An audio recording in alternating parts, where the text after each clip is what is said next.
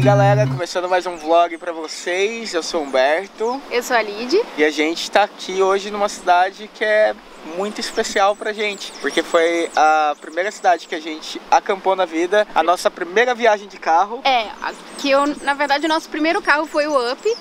E aqui foi o primeiro lugar que a gente veio viajar pra, a passeio mesmo com ele. E E, também foi a primeira vez que a gente acampou. Foi uma experiência muito.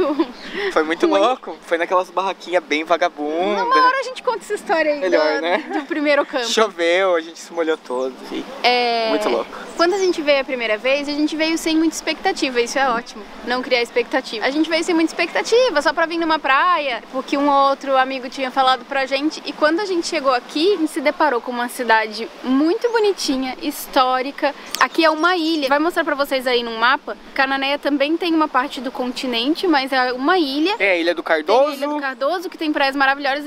Inclusive, a gente já gravou lá e tá num, num vídeo muito antigo aqui, pra vocês verem que a gente vem aqui há bastante tempo já. Aqui, eles chamam de mar pequeno, porque é uma parte do mar, né? Na verdade, que a gente tá numa ilha. E aqui o mar entra lá pelo outro lado da ilha comprida, que não faz parte de Canané. ali a ilha é comprida já, gente, ali atrás. E aqui tem a Baía dos Golfinhos. Direto e reto a gente vê vários golfinhos aqui. A É, gente vai aqui não tentar filmar muito. algum pra vocês. Eu vi. O dia que eu tava Aqui não, pescando ali do outro lado, eu vi lá. vários, vários golfinhos. É maravilhoso, a gente já nadou com eles, a gente já conseguiu escutar eles embaixo d'água, é muito louco, muito louco mesmo. E vamos aí, né? Vou mostrar tudo pra vocês no vlog de hoje. Então já comenta aí se você já visitou Cananéia ou essa região aqui, Guape, Ilha Comprida, enfim.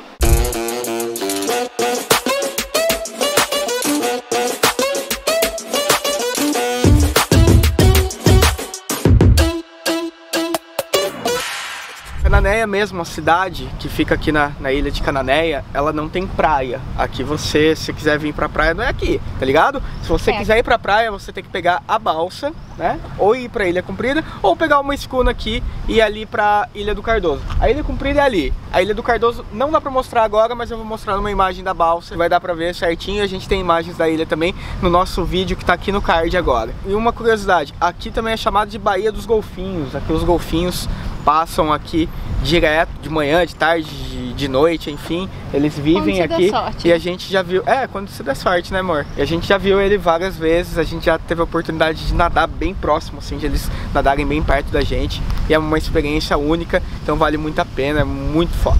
Na Avenida Beira Mar tem vários restaurantes que você pode comer com vista para o mar pequeno, com várias opções de cardápio, inclusive frutos do mar. Cananéia é referência na criação de ostras e não tem lugar melhor no país para comer essa iguaria do que aqui.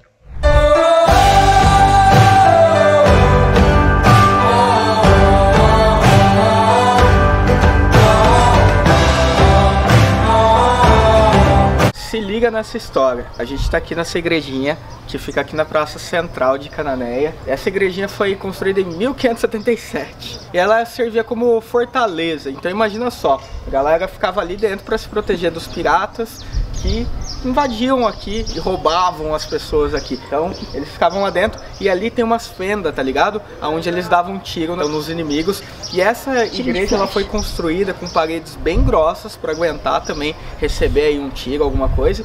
E ela foi construída de calcário e gordura das baleias que eram caçadas aqui na Ilha do Bom Abrigo, que faz parte também da cidade de Canané. Então, imagina só, que loucura. 1577, essa igreja foi construída com calcário e gordura de baleia.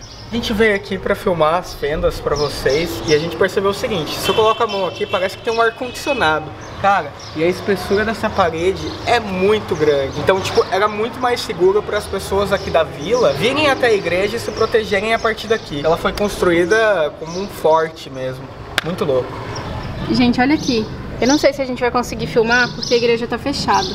Mas parece ter uns 40 ou 50 centímetros de grossura de parede quando a gente espia aqui no buraco.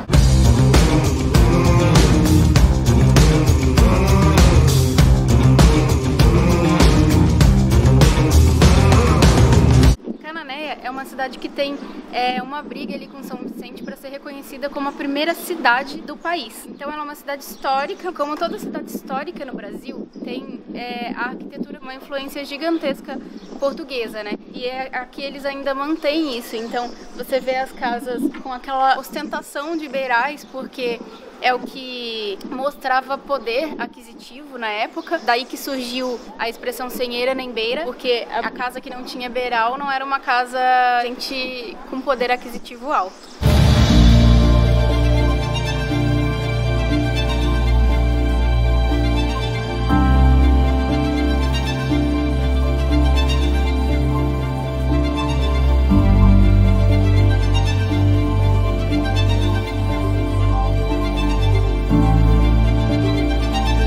Disse que a gente só vê jacaré no Pantanal. A gente sempre acompanha as notícias daqui, né? Porque aqui, como a gente já falou, é um lugar que a gente ama muito. E aqui, ó, tão, tá vendo aqui? Tem um riozinho, né? Que deságua aqui no mar. Nesse rio tem jacarés, jacarés do Papa Amarelo, se eu não me engano. Esse tempo a gente leu uma notícia que um dos jacarés tava dormindo ali, tava do lado do mercado ali. Tinha uma pessoa em situação de rua dormindo, né? É, debaixo desse mercado e tinha um jacaré do lado dele, com mocota e eu acho que eles eram amigos porque o jacaré não mordeu. Não comeu ele. Agora a gente tá indo pro Mirante. É uma subidinha aqui para pessoas sedentárias como eu sofrerem um pouco, mas vamos aí. A gente tentou vir num lugar que a gente nunca tinha vi vindo aqui, mas eu já tinha visto no mapa muitas vezes, que é um mirante que tem aqui numa, na montanha. Ah, que você vê ali do, de todo o mar pequeno, essa montanha aqui. Porém, não é um lugar tão bem demarcado, então a gente não sabe se sobe mais e a gente não tem mais fôlego para subir mais. Aí a gente chegou aqui no pico onde tem as antenas de celular e de TV. Então a gente vai parar por aqui, eu acho que já tá bem mirado. A gente já conseguiu ver um, uma vista bem bonita daqui, porém, não sei se eu recomendo, é meio tenebroso. Não, é meio assustador para subir ali também, não sei se a gente não vai descer escorregando. escorregando é. E se tiver com chuva, não tenta vir, porque não vale a pena. Mas a vista é muito bonita, enfim, né? Cananeia.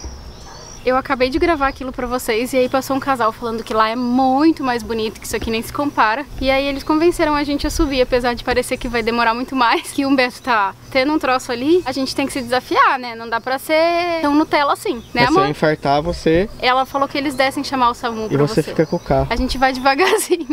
Ó, eu tô falando já aqui, tá? Ela fica com o carro.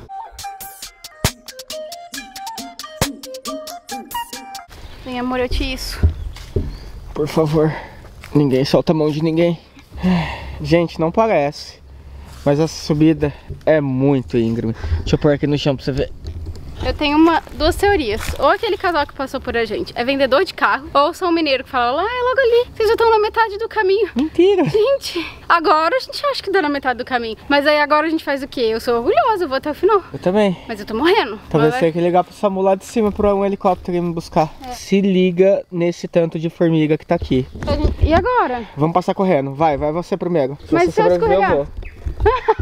Então, e você não sobrevive? Tem que aqui, ó. Hoje não tá mais fácil, porque é o tamanho, cara. Eu tô é chocado. Muito, um, um, tapete. Até quando? Ó, milhões de formigas. 15 milhões. 15 milhões, trilhões. Então vamos. Deve faltar aqui uns 200 metros. Nossa, eu tô morrendo, tô... mas eu não vou desistir. Aos cantos dos passarinhos. Que lugar maravilhoso.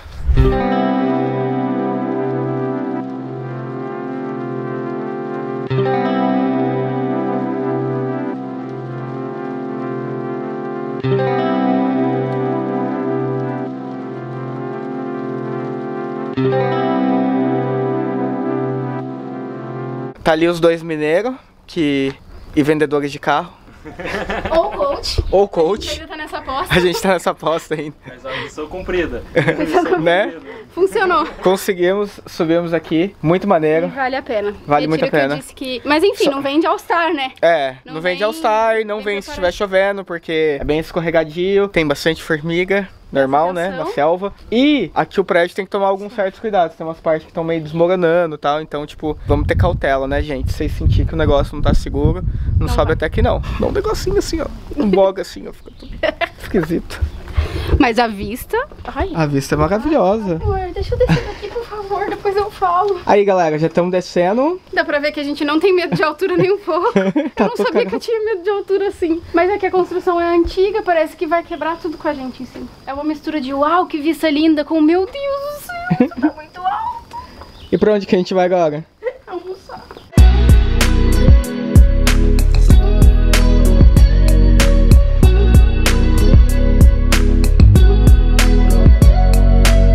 E assim a gente finaliza o vídeo. Eu espero que a gente tenha despertado curiosidade de vocês para virem visitar Cananéia, vale muito a pena. A gente ama esse lugar, então a gente é meio suspeito para falar. E agora a gente vai finalizar o vídeo fazendo o quê? Comendo. E aí essa, esse lugar que a gente vai, o que que a gente vai comer a gente vai mostrar pra vocês no próximo vídeo. É uma iguaria que a gente vai mostrar pra vocês. E no próximo, mais um próximo vídeo você vai ver a gente experimentando. E também a gente tem um desafio aí Que a gente vai se desafiar e depois a gente quer desafiar vocês também. Demorou? Ah, e não esquece de compartilhar esse vídeo com todo mundo. Deixar aquele like e comentar aí. O que, que você mais gostou é, de conhecer aqui? Qual que é a história mais legal que você escutou a gente contando aqui da cidade, é não? E é isso, então é nóis, até o próximo vídeo, tchau!